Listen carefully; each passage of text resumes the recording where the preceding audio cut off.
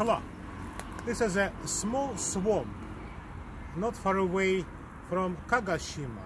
It's very south of the Kyushu island, which in turn is the most southern big island of Japan.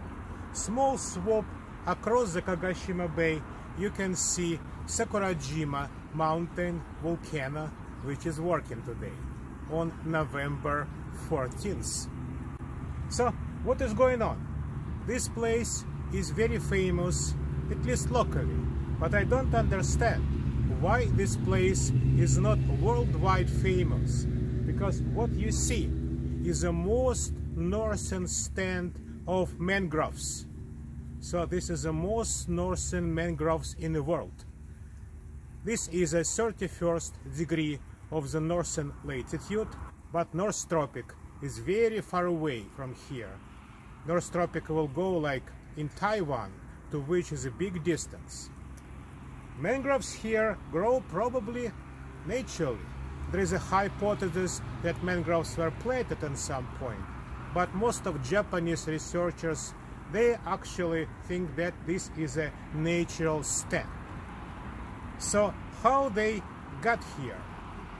And why mangroves, which is question is related, why mangroves do not go to the more northern places. Actually, I will start with the second one. More northern places is interesting. There are many, well, seas and rivers to the north which have that particular mixture of salt and fresh water which mangroves like or actually survive on this soil very well.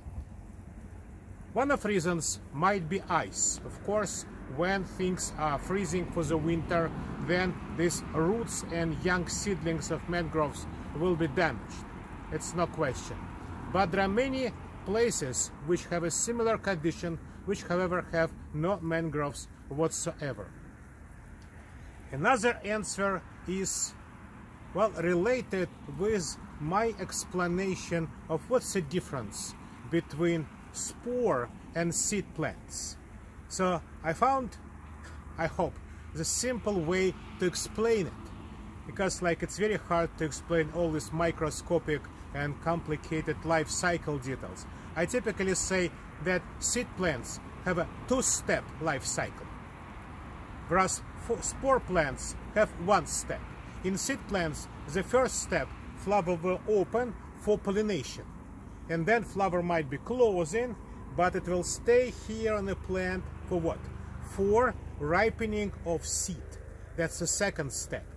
So if you don't even know what is a seed, how to find it, you still can mention that sexual organs, flowers or cones on seed plants will stay much longer than organs which might be similar. For example, consider this cycas, cycas female strobilus, very similar to fern.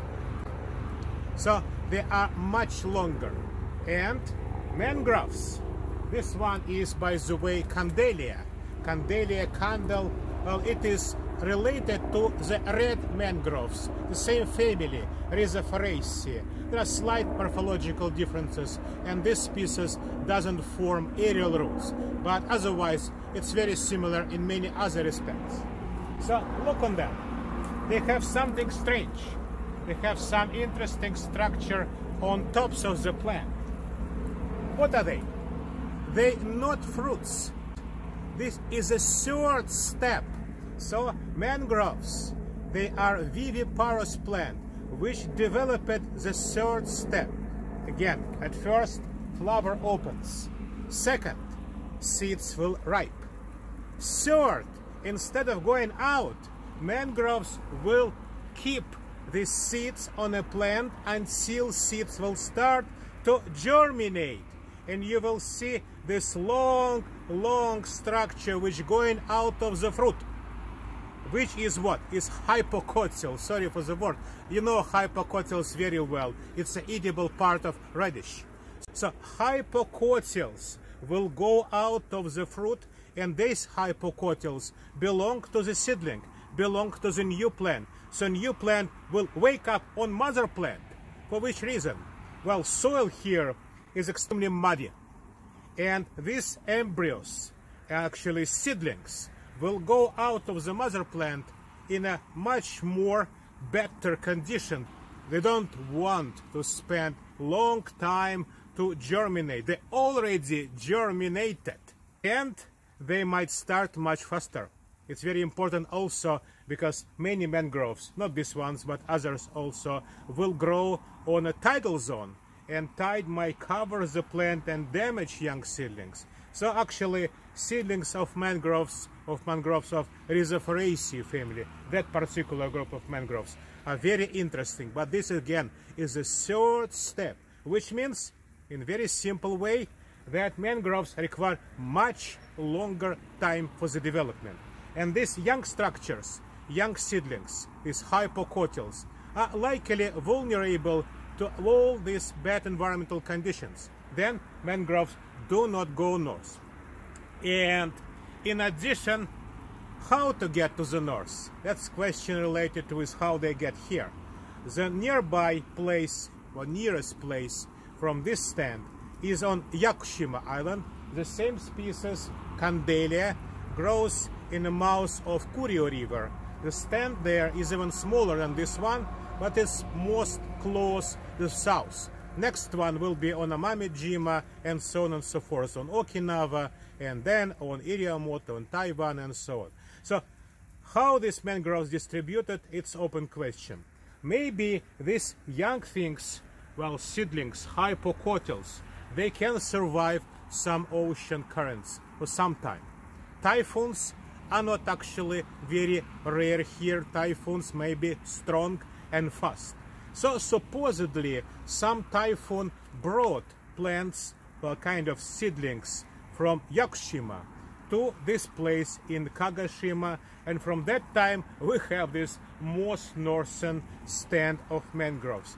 Uh, I cannot exclude this situation that this mangrove is just the rest, the last one of much more stands which disappeared for some reason. This is also possible.